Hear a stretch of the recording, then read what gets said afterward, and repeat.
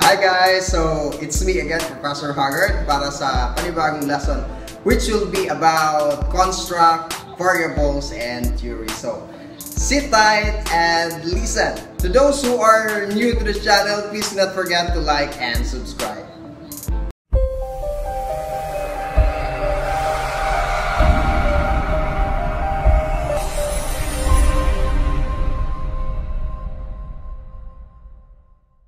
So, alright guys, let us start uh, this topic. As I was saying, it is about research, construct, variables, and theory. So, atin pong i-define yung isa-isa ng mga terms na ito.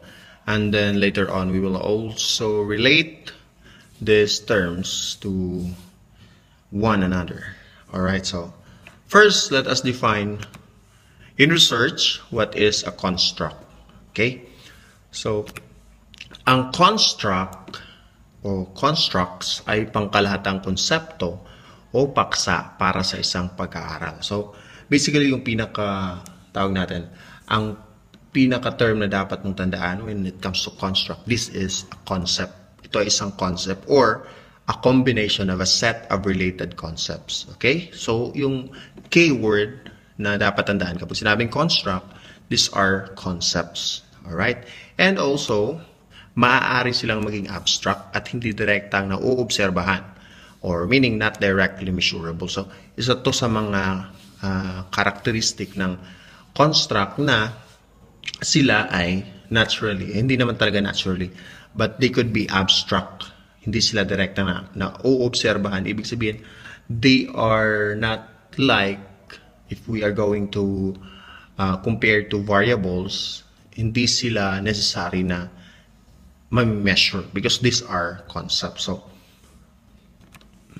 this will lead us to these two types of definition. Na mahalagang malaman natin yung two types of definition in relation to construct.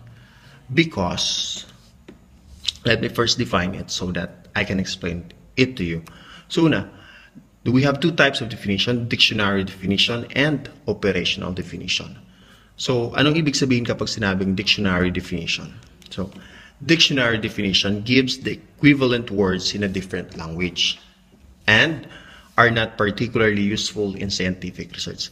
So, kapag uh, pinag-aaralan natin yung tungkol sa construct, kung gagawa tayo ng construct, alamin natin yung mga concepts surrounding our research. So, ang mangyayari, kung dictionary definition, yung ating, uh, kumbaga, hinahanap hindi yun magiging useful when it comes to your research. So, it is important to bear in mind dapat yung hinahanap natin would be operational definition, which is it define constructs based on how they will be empirically measured. Okay, empirically. Ibig sabihin, ma-observe. Okay, so define constructs. So later on, we, we, I will give you examples of those uh, construct in operational defi definition. So example, yung income, for example. Income, uh, the concept surrounding income could be personal income, family income, di ba? Annual, monthly income, di ba? And then another, communication skill. So if we're going to look the concepts surrounding it, uh, pwedeng yung vocabulary, di ba? Yung spelling. So those are examples of construct. And we have also temperature. It could be Fahrenheit, Kelvin, di ba? Celsius. And intelligence, di ba? Intelligence. Pwede natin siyang ma-measure. Yes, pwede natin siyang ma-measure based sa uh, IQ score. And this is also uh, one example of, we call it construct. Okay. So, this will lead us to the topic about variable. Okay? Because related kasi itong construct sa yung variable. So, maiintindihan nyo din later on. So, in research, what is a variable? Okay? So, characteristics that can vary. So, napaka-simple. Yung characteristics that can vary. Example, uh, height, for example. Yung height ng isang tao ay, ay in time, nagiging iba-iba. So, it can vary.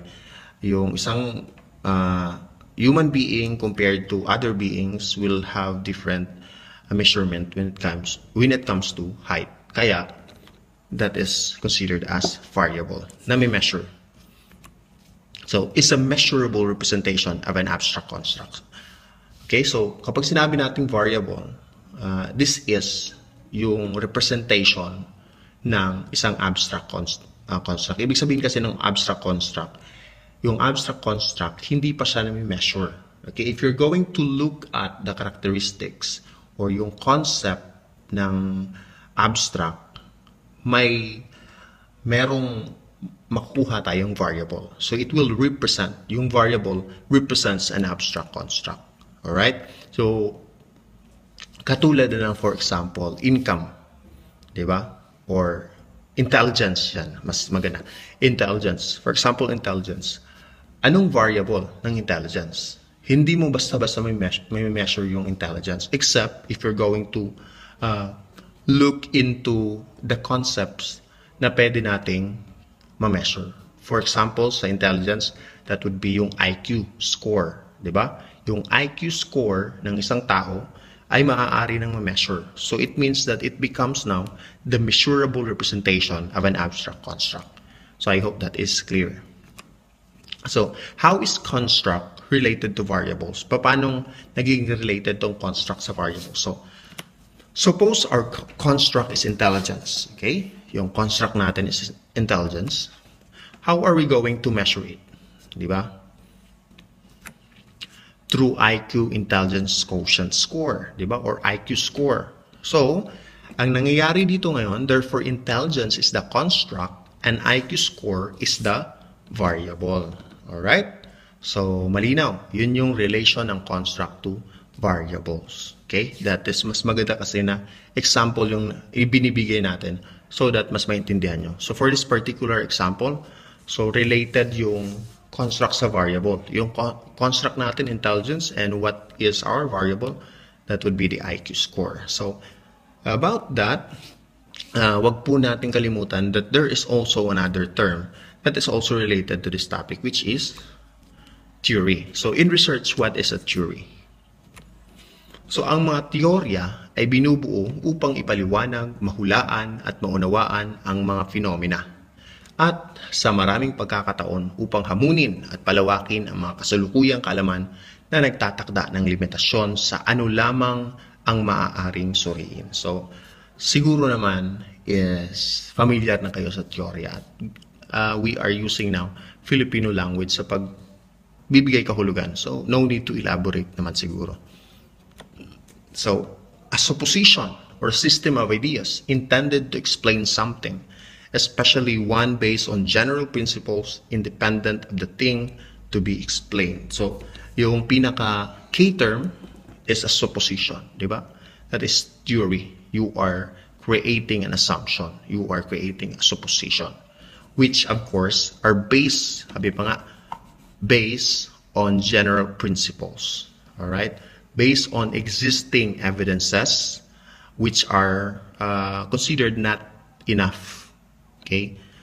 That's why it, sabi pa nga sa una nating definition, kinakailangan pang hamunin. Ibig sabihin, kinakailangan pang mas patunayan. Okay? That is theory or teorya.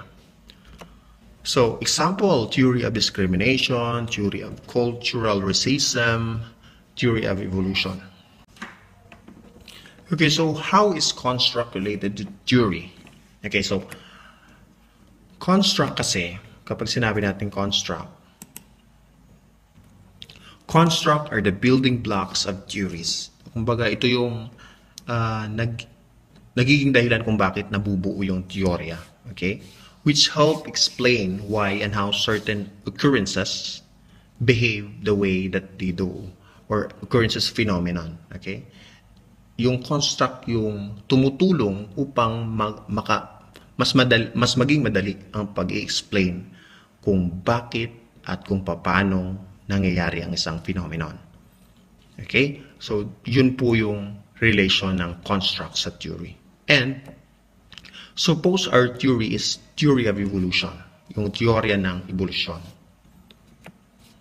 What are the concepts that makes it? Okay, yun yung dapat itanong natin sa ating sarili. So, given that meron tayong teorya, variation, and heredity.